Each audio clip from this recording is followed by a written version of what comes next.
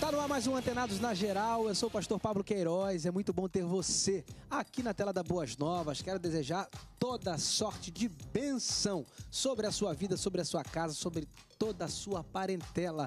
Que esse pro programa possa fazer bem a sua vida hoje. No Antenados na Geral, vamos falar sobre simbologia cristã. Há muitas igrejas hoje que colocam, usam símbolos nos seus púlpitos, nos seus altares, colocam imagens é, simbolizando alguma coisa da Bíblia. Vamos falar um pouquinho sobre isso, tentar esclarecer se é certo, se é errado, de onde vem, qual o contexto, qual é o significado, qual é a consequência de trazer os símbolos para dentro da igreja. Para participar do programa de hoje, eu convido ele, que é pastor da Assembleia de Deus na Zona Sul, é dirigente de uma congregação na Rocinha, pastor Bruno Albino. Seja bem-vindo mais uma vez, Antenados na Geral. Alegria total, Pablo, retornar aqui, estar com vocês. Eu creio que essa tarde será uma tarde muito edificante e que todos os nossos telespectadores sejam alcançados e a mente esclarecida. Deus abençoe. Ele também, que é pastor, bacharel em teologia e missiólogo, pastor Márcio Silas. Seja bem-vindo, Antenados. Boa tarde, Pablo. Que Deus abençoe e que use cada um dos companheiros aqui para que traga luz ao coração e fogo para a alma dos nossos telespectadores. Muito bem, ele também, que é pastor auxiliar da Assembleia de Deus na Ilha do Governador. Atualmente dirige a filial da Freguesia da Ilha. Teólogo, bacharel, professor, escritor e conferencista Jean Max. Mais uma vez, seja bem-vindo, Antenados. Que bom, Pablo, estar tá aqui. É uma alegria estar no meio dos irmãos. Hoje vai ser uma tarde boa, abençoada e edificante. E ele também, que é pastor, bacharel em teologia pelo Seminário Betel, pós-graduado em teologia bíblica pelo Seminário do Sul e jornalista, pastor Sérgio Dias. Seja bem-vindo. Obrigado, Pablo. Deus abençoe sua vida, todos os nossos espectadores. É um prazer voltar aqui, estar com os nossos irmãos, para a gente conversar um pouquinho. O assunto é bom, hein? O assunto é bom. Maravilha. Então vamos lá. A simbologia é muito presente na Bíblia. Números, símbolos, ícones são vistos em toda a narrativa bíblica. Alguns números específicos, por exemplo, têm certa relevância, talvez com influência de outros povos ou judeus em sua história e cultura. São muitos símbolos, são muito simbólicos, perdão. Hoje vamos então tentar entender toda a simbologia que envolve a palavra de Deus. Pastores, vamos lá. O número da Bíblia a numerologia da Bíblia, os símbolos da Bíblia, tem influência aonde? Em outros povos, em outras culturas, ou na própria Cabala, ou Cabalá. Né? Vamos lá, o que vocês acham dos números da Bíblia? Vamos falar, vamos falar sobre os significados. Tem significado? Existe um relacionamento místico, um misticismo, ou aquilo ali representa uma informação, uma mensagem que Deus quer mostrar ou passar sem misticismo. Porque tem isso. Por exemplo, é, ele criou em sete dias, né? O sete descansou o sexto. Então o sétimo, o número sete, ficou como um símbolo de descanso, de salvação. Então vamos tentar entender, mas não tem nenhum misticismo nos símbolos. O que, que vocês entendem sobre o número e os símbolos na Bíblia Sagrada? Só uma, uma aproveitar já iniciar a nossa, nossa conversa, é, a gente tem que dissociar místico de misticismo. É, por exemplo, na história da igreja cristã, um grupo de, de, de católicos, vamos dizer assim, se reunia se, é, para é, encontros místicos, porque eles facilitavam muito a questão da, da intelectualidade, do, da busca pelo conhecimento. E aí faltava aquela coisa mais empírica, mais mística, né, de buscar o Senhor, uma experiência espiritual. Então, isso é um místico. O misticismo é aquilo que se faz com o que é místico. E aí a gente leva, por exemplo, para as religiões de outras matrizes. Então, tentando fazer essa dissociação, a Bíblia é mística, porque ela revela o amor de Deus, a jornada do amor de Deus pelo seu povo. Vamos tentar resumir assim. E, por exemplo, o, o que você citou, pastor Pablo, do, do sete, o sete é o número do, da, da, dentro da simbologia bíblica de algo completo, não só do descanso. Ou seja, durante seis dias Deus, Deus trabalhou, entre aspas, na criação de, do mundo como conhecemos, sendo chato, plano ou redondo, mas Deus trabalhou dessa forma e no sétimo dia ele descansou, mas era, era um descanso da, da obra completa. Aquilo foi então alcançado. Em outros momentos, nós vemos a presença do número 7 na Bíblia, mostrando esse, esse aspecto da, da, da, da obra completa, da perfeição. Né? Por exemplo, Jesus, quando perguntado quantas vezes deve, alguém deve perdoar, para mostrar que o amor de Deus sobre nós, ele é completo. Então nós devemos perdoar não sete vezes, mas setenta vezes sete. Quando Naamã vem e, e, e, se coloca diante, depois de tentar mil e uma é, parafernálias para ficar curado, ele se coloca então diante do profeta e fala: mergulha sete vezes. Se ele mergulhasse cinco, quatro, não seria, mas sete é o número completo do arrependimento, do perdão e da graça de Deus, entre outras simbologias. Então a Bíblia ela tem muitas simbologias. O, 12, o problema é a gente usar isso como misticismo. É, tem o 12 também, né? Que é 12 tribos, 12 apóstolos, é, 12 portas. No Apocalipse também fala sobre 12. É, tem um outro 12, tem, tem uns 12 aí que tem pela Bíblia Sagrada. O 12 parece também que é um símbolo. Símbolo não de misticismo, mas de uma mensagem, de uma informação, de um. É, de algo relevante. De algo relevante. Então, Pablo, não me parece ser a proposta da Bíblia é, focar na questão da, da simbologia, seja ela envolvendo números ou outros aspectos, ou, ou, objetos e etc., que a gente vai tratar aqui também. No caso específico de números, pela repetição de alguns eventos e pela natureza que esses eventos trazem, né, a gente consegue associar e assim, extra Bíblia, aplicamos um sentido naquele número. O, as várias referências que o pastor Sérgio apresentou aqui, do 7, por exemplo, elas, observando esses eventos, a gente cria, extra Bíblia, um sentido para aquele número, né? Mas não que a Bíblia declare que aquele número significa aquilo. Acho que isso é bem claro.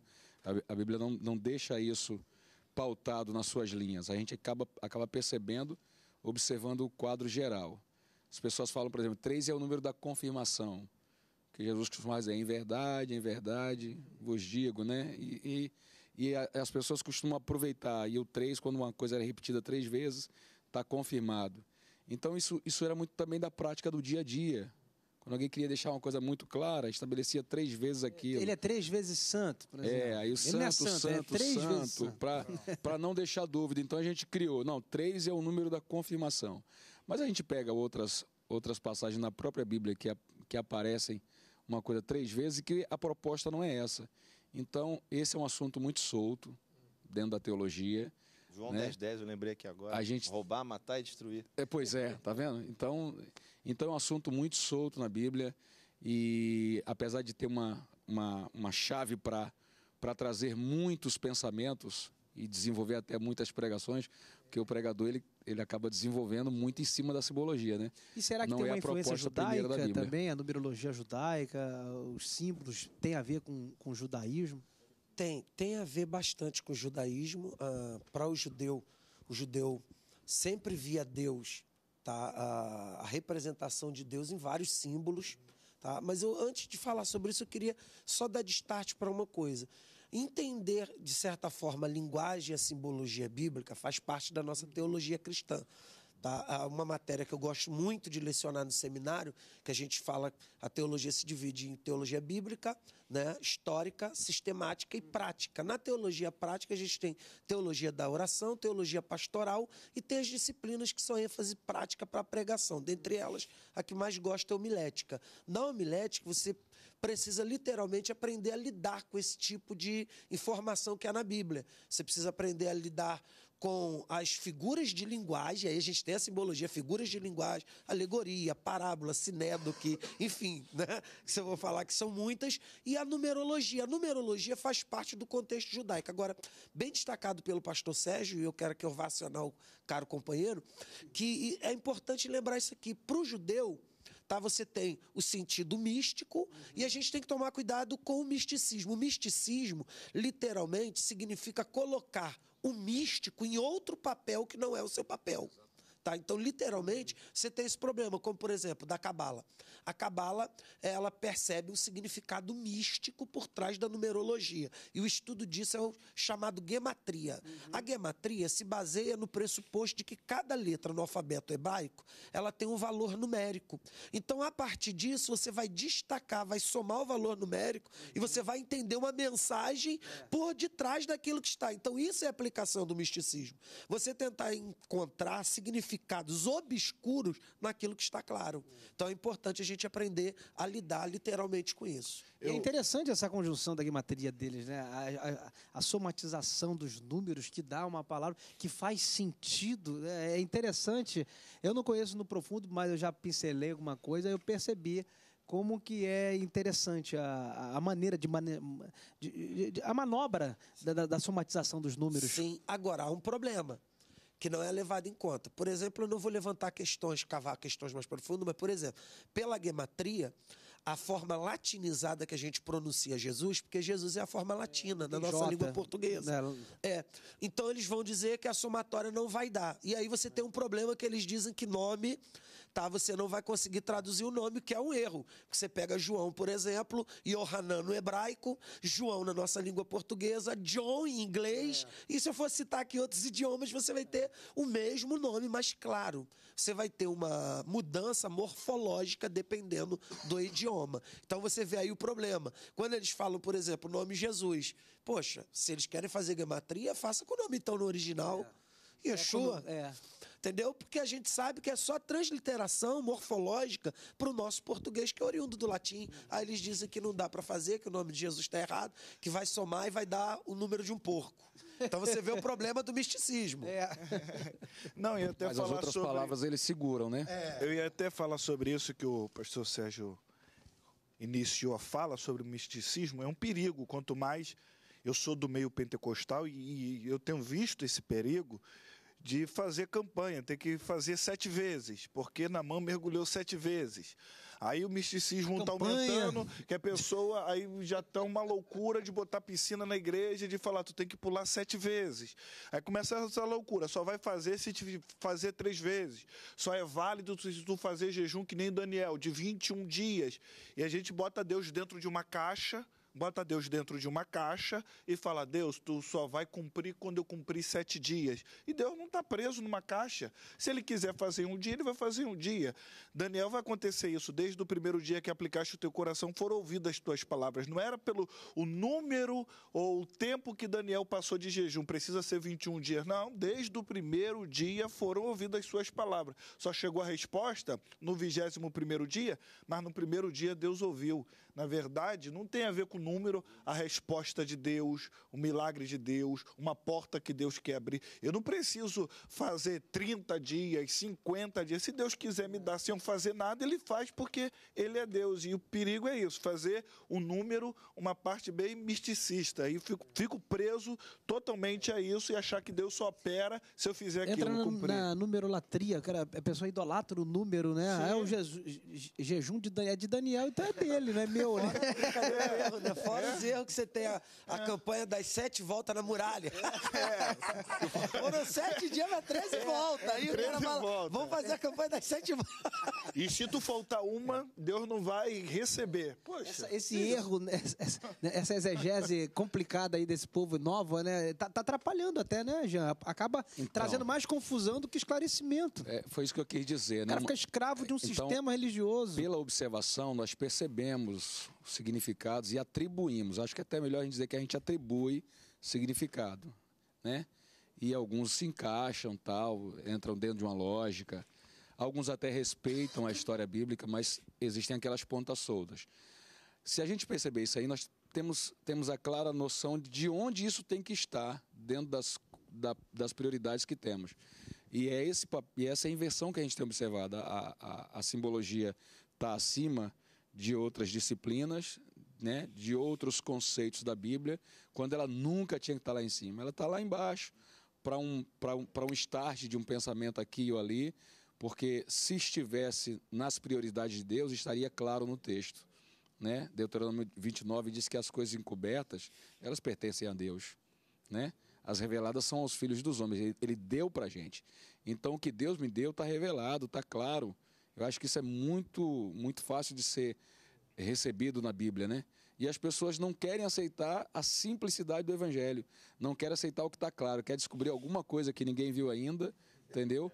Talvez para se, se, se autodenominar o, o, o, o, controlador do acesso a Deus. E acabar cometendo abusos teológicos. Que abusando. É o, que é o resultado desse negócio aí. Da teologia e também abusando do seu próprio povo. O povo que está sob o seu domínio, sob o seu comando. Né? Não vou nem dizer liderança. E aí acaba acontecendo isso. A pessoa impõe por medo uma liderança. É o terrorismo teológico. O senhor falou em abuso, eu lembrei de uma situação real que aconteceu nos Estados Unidos. O pastor levou um porco vivo para o púlpito, distribuiu alfinete e disse que era para jogar os demônios dentro do porco. Então todo mundo foi lá e cravava o alfinete no. do porquinho. Tudo quanto é, tudo quanto é pecado que você tem, limitação, tudo que veio do diabo, você vai botar nesses alfinetes aqui, vai. E foi uma gritaria, o porco gritando na igreja, o povo cravando os alfinetes. Ele Isso foi real, é, real, real. E jogou o porco de um penhasco, né? Então, jogou quer dizer, tudo isso. O cara vem, tava gadarenou. Dessa, dessa, dessa ponta solta. Costurou isso, o véu. Tudo isso vem dessa ponta solta, entendeu? Porque tá tudo bem explicado na Bíblia, a gente não precisa correr atrás dessas invenções. O cara cria leis que nem, nem o próprio Deus criou. Muito bem, o papo está só iniciando. Nós vamos para um breve break, aquele rápido intervalo, viu? Não saia daí não, porque o Antenados, na geral, volta já já.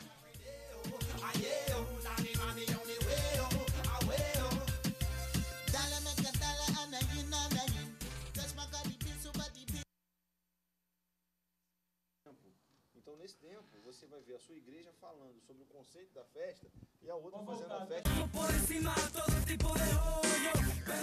Antenados na Geral está de volta com um papo muito edificante falando sobre simbologia bíblica. Quero incentivar você sempre a participar conosco. Anote o telefone aí do Antenados, anota aí o telefone da Boas Novas, mande pra gente, mande uma mensagem, mande uma pergunta, mande temas e grave vídeo no WhatsApp. Vá, visite nossa página no Facebook, visite nosso canal no YouTube. Nós estamos em todas as redes sociais para atender a sua demanda espiritual aqui na Rede Boas Novas. Muito bem, pastores, mais uma perguntinha. Qual o contexto histórico de alguns símbolos que hoje são tidos como símbolos cristãos, como, por exemplo, a estrela de Davi e o peixe? Vamos falar um pouquinho sobre a origem da estrela de Davi, que é aquele triângulo, um virado para baixo, outro para cima, né? É, e o peixe também, que já é neotestamentário. No Antigo Testamento, vamos lá falar um pouquinho sobre o rei Davi, que é, na verdade, o símbolo até do nome dele. Se eu não me engano, é um escudo. Hein, Márcia? É isso mesmo? É um escudo que os soldados de Davi usavam para a guerra. Aquilo virou um. É o, a identificação dos soldados de Davi, é, do rei Davi, dos valentes de Davi. Mas será que tem algum significado além disso? Além de ser apenas um símbolo, será que tem algum relacionamento místico com esse essa estrela de Davi? O que, que a gente pode falar um pouquinho sobre isso?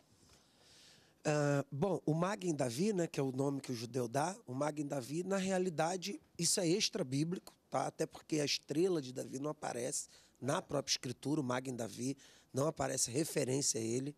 Tá?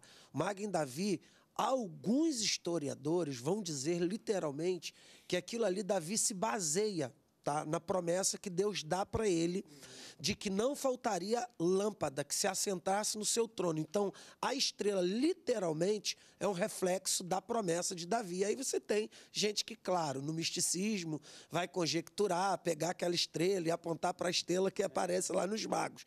Mas literalmente Tá? O que a gente tem na estrela, no Magem Davi. Que é uma interpretação subjetiva do próprio Davi. É, é, é uma interpretação subjetiva dele mesmo. E, tá? e também não é consenso.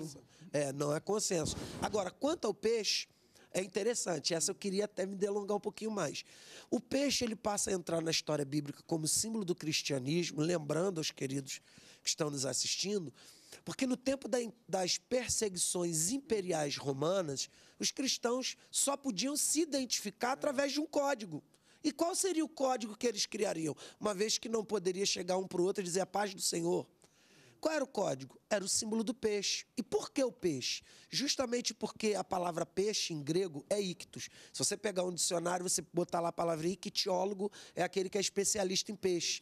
A palavra ictus é a inicial em latim, justamente do nome Jesus. Se abreviar. É, É um Jesus. Christus Teos Uius Soter. Esse é acróstico. Jesus Cristo, Filho de Deus, Salvador. A nossa igreja tem tinha esse símbolo, com esse significado também. Agora tem a ver com a multiplicação também dos pães e peixes. Será que a gente pode falar? Porque também tem essa. O pessoal diz que ah, o peixe também, além do, do significado, também parece que tem pessoas que defendem que após a multiplicação do pão e do peixe, para se identificar, eles faziam né, lá no chão né, o símbolo do peixe para exatamente cada perseguição. O que, que vocês têm a dizer? Na verdade, era só um código mesmo. Era só um de- código e ponto. Não passa daí. Né? Em lugares Porque às vezes onde- o cara, Porque hoje em dia, também, já viu nas Tem novelas, gente nos até filmes, que pensa que era alma, né? Peixe simboliza a alma. É. Mas é. justamente por causa disso, que esse acróstico, muito bem lembrado aqui, né? Jesus Cristo Teus Soter, lembra o nome de Cristo. Então isso identificava o cristão. É, Essa, essa ideia de se ter um código, ela ainda é praticada em países onde a perseguição ao cristianismo é muito extrema. Então as pessoas precisam, por uma questão de conservação da vida, é, manterem a sua identidade cristã em sigilo. Né? Não se aplica ao que Paulo disse, não me envergonho do evangelho. É uma questão mesmo de sobrevivência, de sabedoria. E eles desenvolvem códigos entre si. A gente escuta relatos de missionários que estão nesse mundo é, para justamente poder saber com quem eles podem, a quem eles podem confiar a sua intimidade, né? A questão do peixe, quando foi descoberta, por exemplo, logo, logo teve que ser abandonada, porque quando Roma percebeu que os cristãos se identificavam com aquilo ali, então qualquer pessoa que desenhasse um peixe era morta, porque exatamente estava entregando aquilo que eles queriam, estava dizendo, eu sou um cristão, um seguidor do Nazareno. Então era só um símbolo, uma questão assim, estratégica de você saber quem, com quem você pode contar.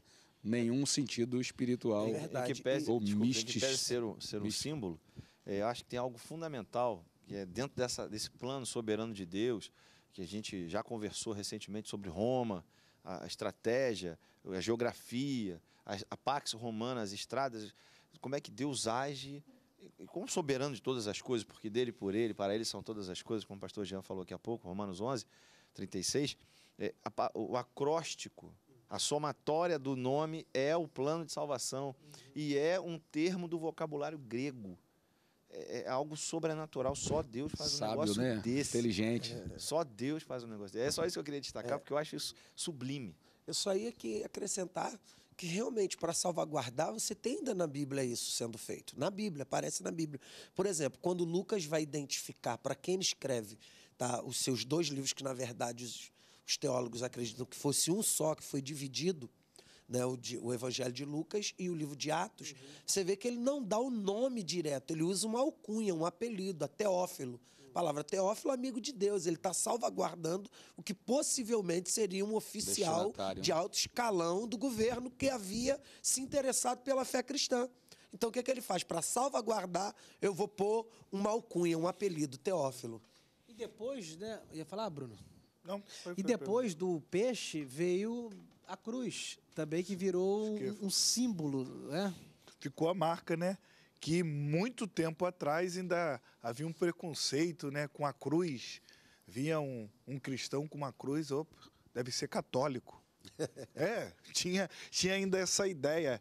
E a cruz vazia representa que o nosso Jesus não está lá, ele ressuscitou e está vivo para todo sempre, para todo sempre. Mas em questões espirituais, esses símbolos não têm um, não têm um valor, não têm, não têm um peso. Os símbolos ou, ou que Jesus deixou para permanecer para a sua igreja foram dois, né? Que seriam o lembrete que seria o batismo, descer nas águas e, o, e a Santa Ceia, o pão e o vinho. Que ele falou: "Ó, isso daí vocês vão fazer até que eu venha. Até que eu venha, isso daí vocês não podem deixar de fazer. Eu acho que isso que permaneceu e permanece para a igreja até o, até o final dos tempos. E o pastor Jean aqui falou, eu lembrei o pastor Mário Freitas, que trabalha com a Mais Missão a Igrejas Sofredoras, ele falou que lá no Sudão o, a perseguição foi tão grande que começaram a marcar a casa dos cristãos que com, com a marca do peixe ainda e com, com letreiro é. em aramaico dizendo que hoje Nazareno, hoje Nazareno. Então, já são conhecidos como hoje Nazareno e o símbolo do peixe ainda no Sudão.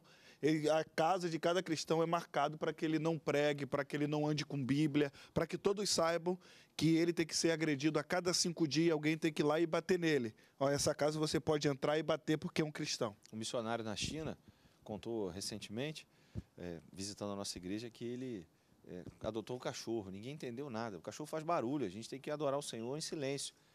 E na China é muito comum, você tem que ficar quieto, cantar bu- balbuciando, ou então em silêncio, né? realmente em silêncio. E aí o missionário brasileiro que o visitou, ele falou assim, olha, eu adotei o cachorro porque ele vai latir. E quando ele latir, é um símbolo de que alguém está se aproximando. E pode ser alguém que me denunciou.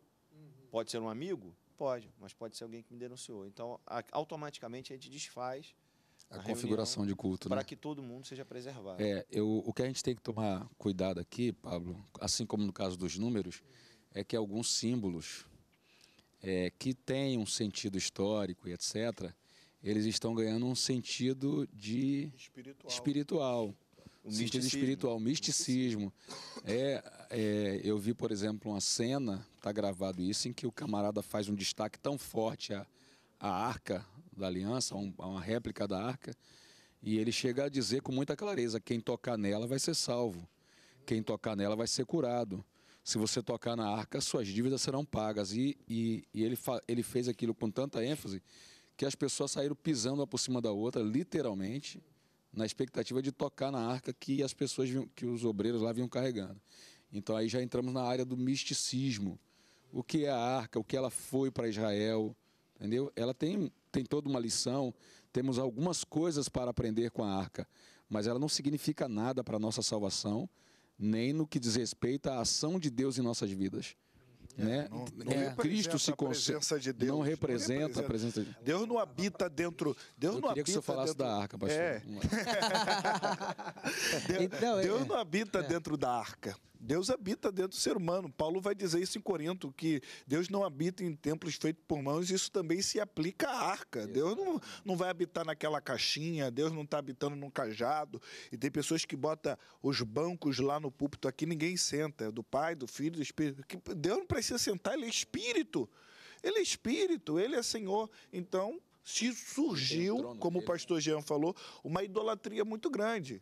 Tu vê entrada da arca, silêncio, reverência, a arca está entrando. Que isso? Que isso? Mas a palavra está sendo pregada, não. Tu pode andar, tu pode gritar, pode mascar chiclete, pode entrar na internet, mas a arca está entrando, silêncio. É um momento de santidade, é um momento especial. Mas a dissertação da palavra não tem valor. A pregação da palavra não tem valor, como o pastor Jean disse, e as pessoas estão tocando, e os pastores estão pregando isso, porque o povo quer isso. O povo quer isso. Eu falei, falei com. Vende, com- né, pastor? Eu falei com, com o pastor Márcio no caminho que Poste vai dizer algo que para cada pessoa que vai para a igreja e não vai atrás de Jesus, Jesus sempre levanta o falso profeta para essa pessoa. Então, essa pessoa que está indo para a igreja, não está indo atrás de Jesus, está indo atrás de resultado, Jesus falou: tu levantou esse falso profeta para dizer que a minha presença está dentro dessa arca. Você me engana, tenta me enganar, dizendo que veio me buscar e essa arca está te enganando, fingindo que eu estou dentro dessa arca. Talvez Pronto. nenhum país no mundo É. tenha a facilidade que o nosso país tem em virtude da criação, a fundação e a colonização do, do Brasil, ter essa, esse apego à idolatria, apego a símbolos, a, a imagem, a ícones, e esse tipo de coisa acontecendo no nosso país tem terreno fértil. Como era também eh, toda aquela região ali do, do, do Crescente Fértil e a, a parte da Palestina, por É, a conta gente- de tudo que Deus Então a fez. gente tem que aprender a lidar da forma certa com, com o símbolo, Com o né? símbolo, dúvida. Porque, por exemplo, tem pessoas que estão enricando. Porque, como eu falei aqui no início, o, o coração é uma fábrica de ídolos.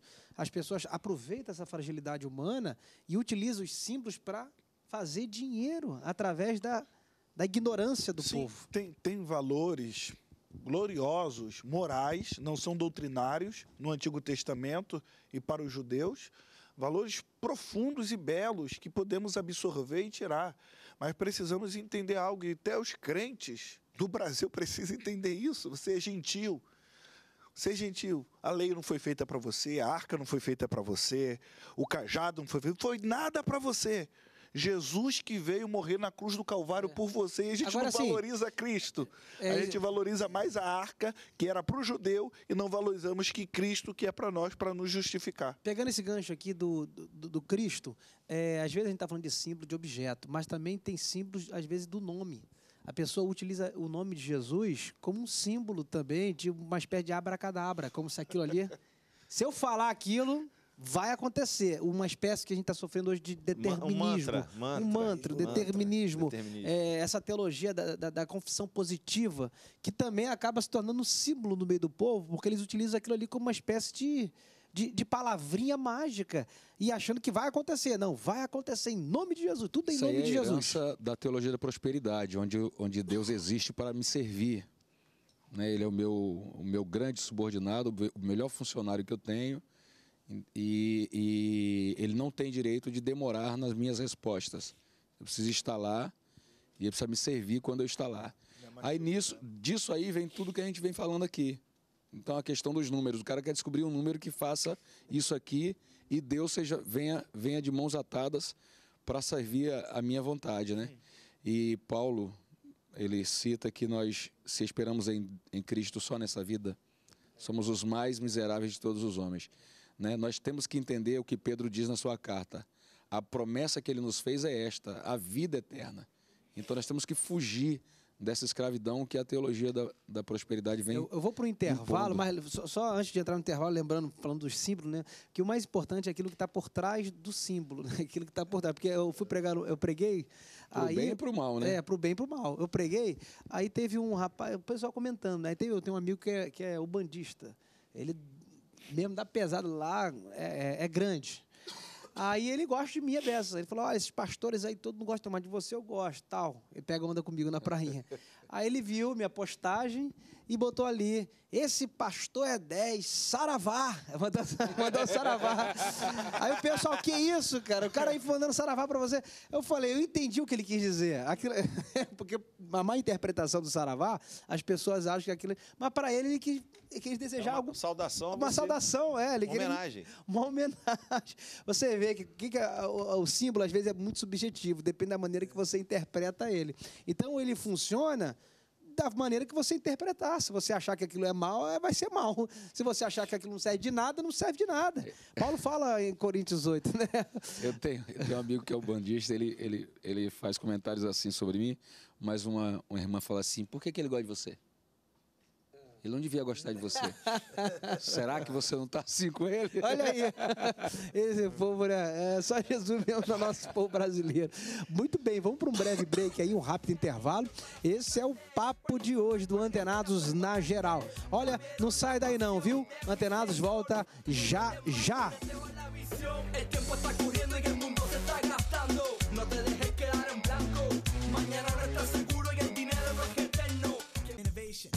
Antenados na Geral está de volta aqui para o terceiro bloco, papo muito abençoador. Tenho certeza que esse programa está fazendo muito bem a sua vida. Aproveita para divulgar para seus amigos, a participar sempre conosco. Todos os dias, às 17 horas, estamos aqui pontualmente, segunda a sexta. Sempre com esses pastores aqui, num papo muito abençoador. Muito bem, pastores, mais uma perguntinha aqui. Nós falamos sobre a simbologia contida na Bíblia, que pode ter sido influência do judaísmo. Mas, apesar do judaísmo, será que as outras culturas também influenciam? Tem influência? Como é que a gente pode interpretar, ou somente do judaísmo, a, a influência bíblica? Porque a gente sabe que naquela época havia outros povos também, com outras culturas, com outras práticas. Será que a influência da simbologia só vem do judaísmo? Vamos contextualizar para os dias de hoje. É, as igrejas que utilizam símbolos hoje, será que elas estão trazendo os símbolos para a igreja só com influência bíblica do judaísmo? Ou então elas também estão aproveitando outras culturas, outras religiões e trazendo esse sincretismo para dentro da igreja? Ótima pergunta, Pablo. Antes de mais nada, deixa eu só lembrar aqui duas coisas bem importantes do nosso assunto aqui que a gente está conversando. Primeiro, sim, Israel teve influência de outros povos, a gente vai ver isso na própria simbologia deles mesmos. Tá? Você tem, por exemplo, Neustan, a serpente. Você tem, por exemplo, o ídolo que eles vão adorar, que é fruto da convivência lá dentro do Egito, tá? entre outros símbolos que vão aparecer até na própria vida religiosa de Israel. Ah, eu li um livro há muitos anos atrás, aliás, de um historiador, que ele falava justamente sobre esses símbolos, o período que Israel passou dentro do cativeiro babilônico, tá? Um pouquinho da influência da Babilônia dentro dos símbolos. Um deles é comparar, por exemplo, Deus como sol.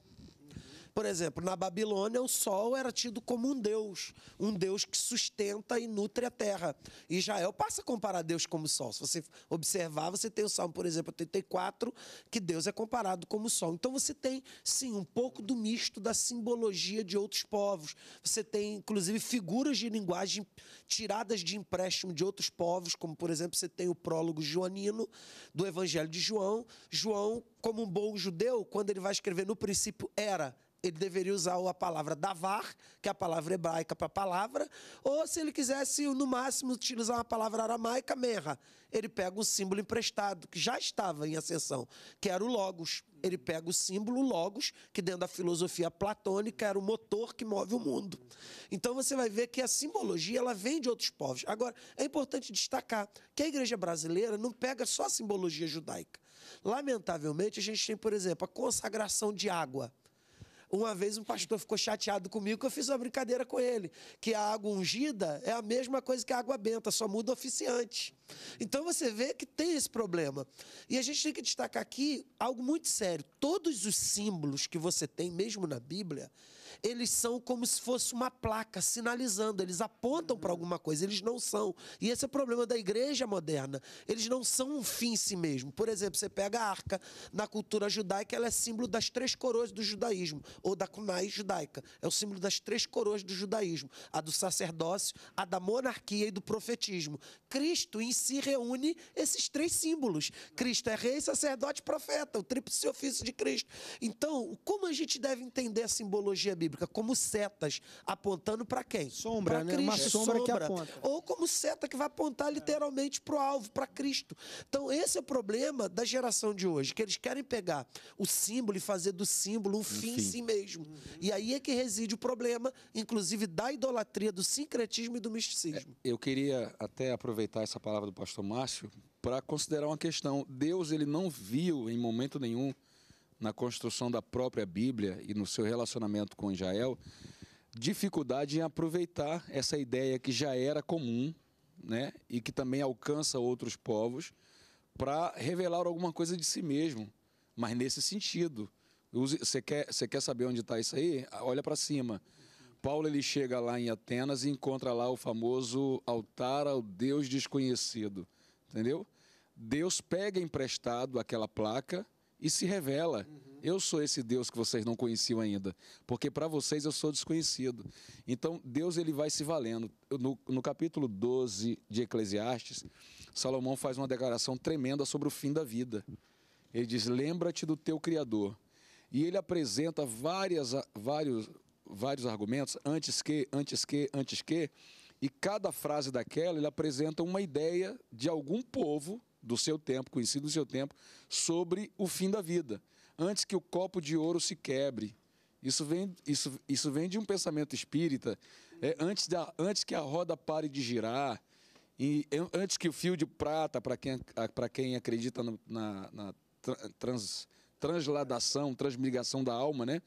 Fio de prata que liga o corpo ao espírito que saiu dele, que trasladou ele. Ele falou assim, antes que isso se rompa.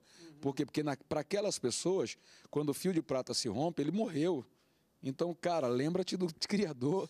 Antes que, não importa o que você pensa, como você define a morte, ele quer dizer, lembra dele antes de morrer.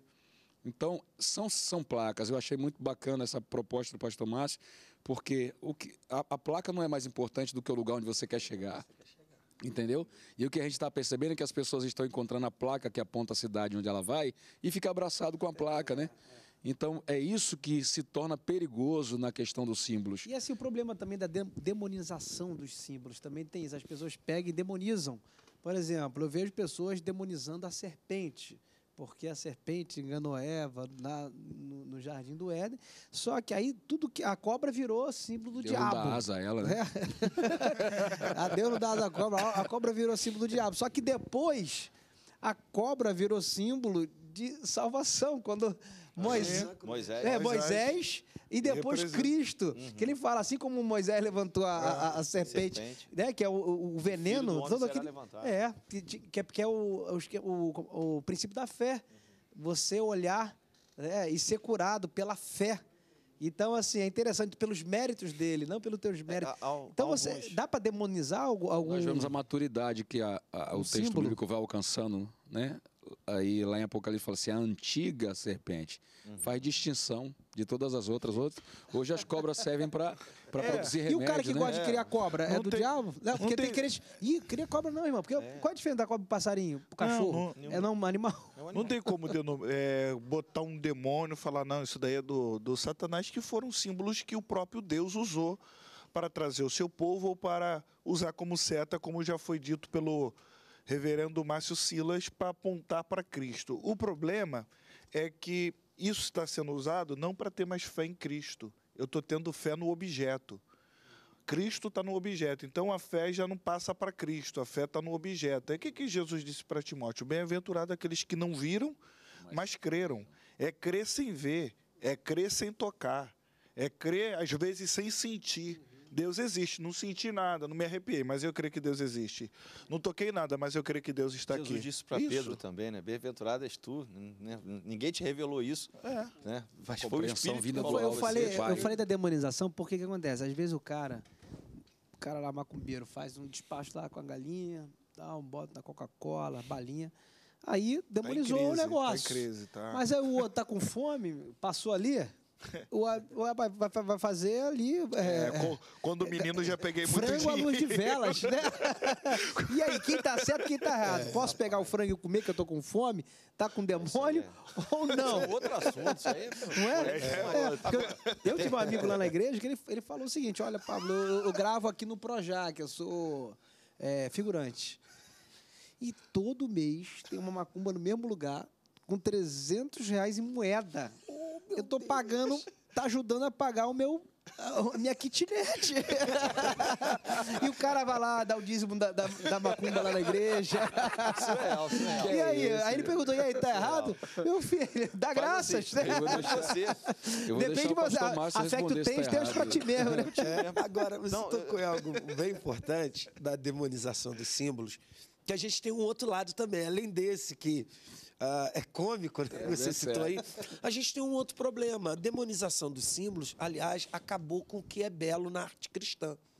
A gente tem, por exemplo, Verdade. hoje, ah, na nossa arquitetura, há igrejas que não parecem igrejas. Você pega, por exemplo, as fotos das catedrais medievais, da época da reforma cristã, você chegava e você sentia uma igreja, porque os símbolos ali apontavam que você estava ali na comunhão dos santos para buscar a face de Deus.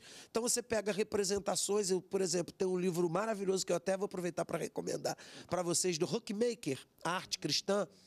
É um livro fantástico, que ele vai lembrar pra gente que tudo que é belo, que é bonito, aponta para Deus. E nesse símbolo, você vai ver as catedrais, tinham catedrais que você entrava, tinha os vitrais, nos vitrais tinham os desenhos, a maioria daqueles desenhos tinham alguns símbolos que te faziam perceber que você estava ali realmente num local para buscar a Deus. Por isso que a igreja antiga, por exemplo, você tinha a maioria das igrejas, tinha uma cruz vazia porque é só para lembrar. E essas representações, elas às vezes são vivas, porque a gente tem também representações vivas na nossa fé cristã, como por exemplo a ceia do Senhor.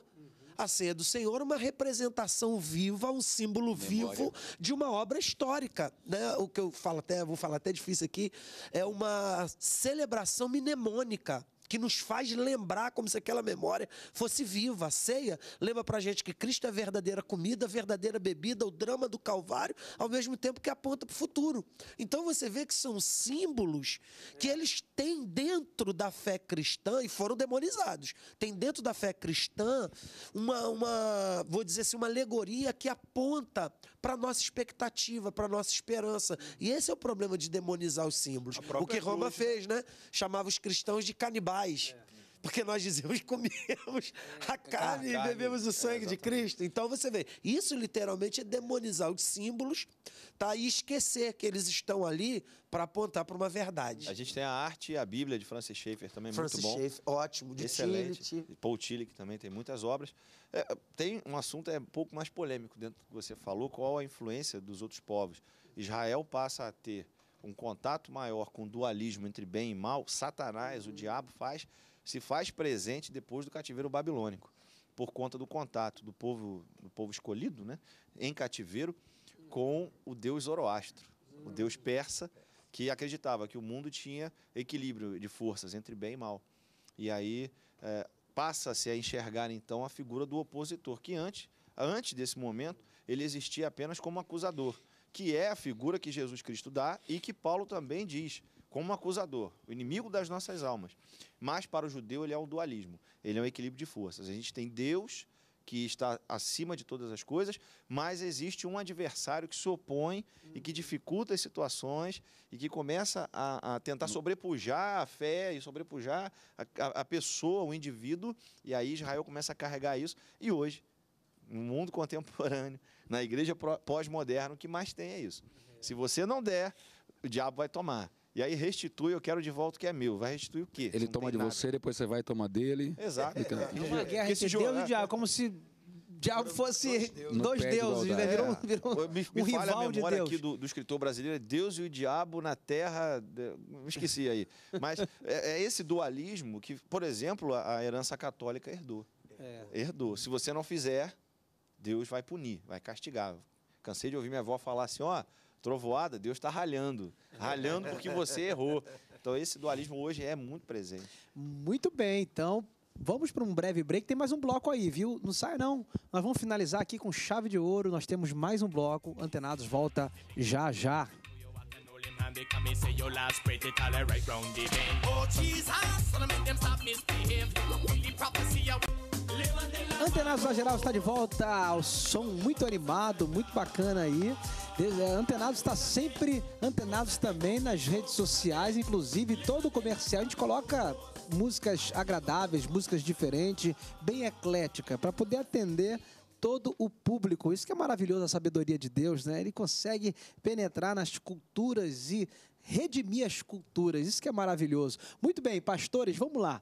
É, devemos ter medo dos símbolos, já finalizando esse bloco, vamos fazer esse resumo. As pessoas que nos ouvem, é, falamos sobre a cruz, falamos sobre a estrela de Davi, falamos sobre o símbolo do peixe e símbolos de outras culturas também. Será que o cristão que nos ouve agora, quando ver um símbolo do satanismo, ver um símbolo de outra religião, ele precisa ficar com medo, ele precisa é, ficar meio receoso, não tocar, ou então repreender, amarrar. Como é que o cara deve lidar com os símbolos que não são cristãos? Símbolos de outras religiões. Qual é a relação? Rola esse, rola um misticismo muito grande. Teve um, um símbolo de uma deusa, acho que Diana, com a língua para fora.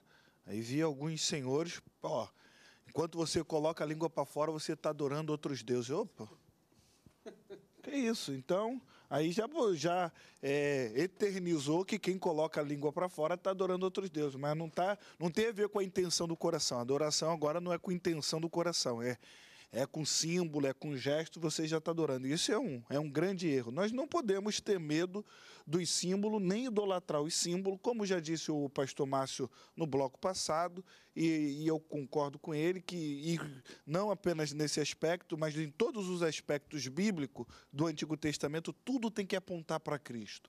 Tudo tem que olhar para Cristo, tudo tem que revelar Cristo. Se não está revelando Cristo, se não está glorificando Cristo, se não está fazendo Cristo como prioridade, abre mão. Abre mão. Se não é o pessoal, prioridade, abre o pessoal mão. acaba tendo medo. né? Por exemplo, eu recebi uma mensagem essa semana do cara falando do, do- do parabéns pra você, Ratimbum, que é uma maldição que tá jogando sobre a pessoa. Aí as pessoas ficam com medo disso, porque cuidado, não fala Ratimbum não, que isso é uma maldição sobre a sua vida. Esses símbolos gerados pelas pessoas e acaba gerando medo mesmo no ser humano. Tem três minutinhos, vamos lá, Você fala lá, sabe, Jean. Paulo, eu acho que foi Isaías que disse os ídolos nada são. Né? Até a própria Coríntios imagem de escultura é. feita para ser objeto de adoração, Deus diz, ela nada é.